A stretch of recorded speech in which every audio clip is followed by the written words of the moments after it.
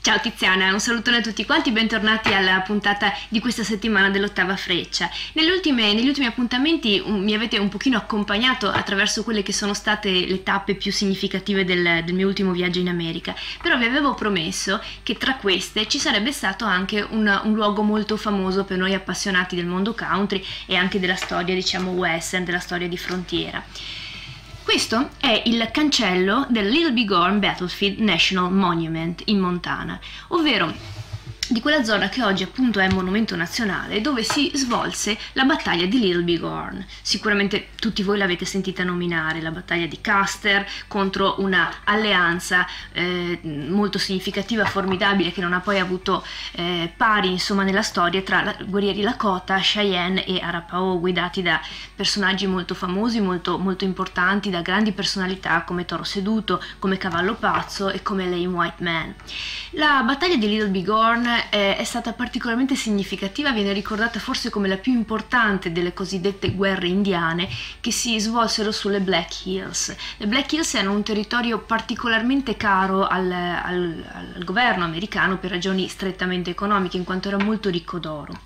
Ora, eh, il perché, la ragione di questa, di questa battaglia da un punto di vista proprio strettamente storico risiede in una, in una, falla nel secondo trattato di Fort Laramie che era avvenuto al termine della guerra di Nuvola Rossa perché questo, questo trattato appunto eh, delimitava che er, quelli che erano i confini della, dell'ampia riserva Sioux ma lasciava anche un'ampia, un, un'ampia zona franca, un, terreno, un territorio di nessuno che naturalmente generava forti conflitti, frizioni e quant'altro.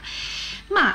in realtà lo spirito che animò l'alleanza tra le popolazioni native, in questo caso Lakota, Cheyenne e Arapaho, lo spirito eh, era molto mh, mm, più forte, in qualche modo questa formidabile alleanza appoggiava su basi, su un sensi- sentimento di rivalsa che aveva eh, ragioni molto più profonde e un pochino più antiche. Tutti quanti voi avete se- sicuramente sentito parlare del massacro di Sand Creek, è avvenuto nel 1864 vicino appunto al fiume Sand Creek e, e le popolazioni, principalmente la popolazione Cheyenne e qualche Arapaho, circa 600 persone, vennero sterminate, erano principalmente donne, bambini, anziani, sterminate a tradimento dal, dal, dal governo americano. Fu una, veramente un, un massacro senza precedenti che venne in qualche modo reiterato soltanto quattro anni dopo, quindi nel 1868, quando gli Cheyenne, superstiti di St. Creek, erano gli Cheyenne di Capo Pentola Nera, un grandissimo capo di pace tra le altre cose, vennero nuovamente raggiunti e sterminati presso il fiume Washita e eh, anche in quel caso si trattava di donne, si trattava di bambini, si trattava di anziani che tra l'altro si stavano spostando da una riserva all'altra per eseguire un ordine governativo, quindi furono veramente colpiti a tradimento. Allora è facile comprendendo questi due eventi, capire anche quale fosse lo spirito che in qualche modo animava le popolazioni native nell'affrontare Custer, anche perché fu proprio Custer a guidare l'esercito americano contro eh, le popolazioni native di Washita. Quindi eh, in questo territorio oggi troviamo in qualche modo eh, una commemorazione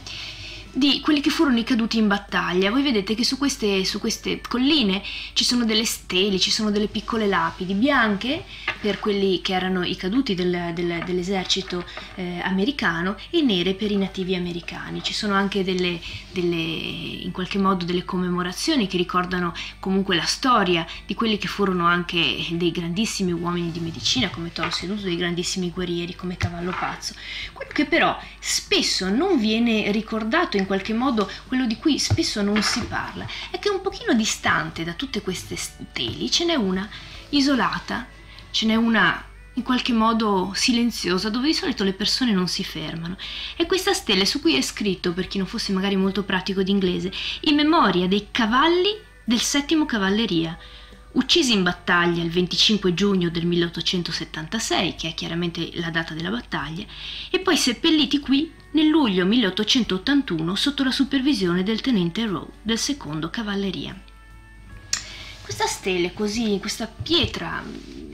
schietta, in qualche modo solitaria, ci fa riflettere, ci fa pensare un pochino, ci fa pensare a quello che è il legame con il cavallo. Purtroppo oggi si tende a, intendere, si tende a vedere il cavallo ehm, soprattutto in chiave sportiva, bene che vada come compagno per la competizione, male che vada purtroppo come strumento per la competizione. Ma forse eh, dovremmo fermarci a pensare al fatto che il cavallo nella storia è stato veramente un compagno per l'uomo, è stato veramente in qualche modo una, eh, un, un, elemento fondamentale che ha consentito all'uomo di, di, arrivare dove è arrivato e con il cavallo si è formato una sorta di cameratismo, quel cameratismo tipico di quando si affida la propria vita a qualcuno e si chiede al proprio compagno di affidarci la propria. Adesso io non voglio essere neanche troppo eh, poetica, non era assolutamente tutto rose e fiori, era sicuramente il cavallo veniva utilizzato anche in modo molto duro perché comunque era una vita dura, fatta di leggi in tut- tutto sommato abbastanza spietate, però forse quello che si chiedeva al cavallo non era diverso da quello che si chiede e si chiedeva ad ogni, ad ogni altro essere umano, cioè quello di combattere insieme per la sopravvivenza. Ed è proprio questa lotta per la sopravvivenza che i cavalli selvaggi dell'open range americano ancora oggi devono in qualche modo perpetuare giorno dopo giorno e parleremo di questo la settimana prossima nel prossimo appuntamento con l'ottava freccia, quindi non mancate. Un bacione grandissimo a Tiziana e a tutti voi.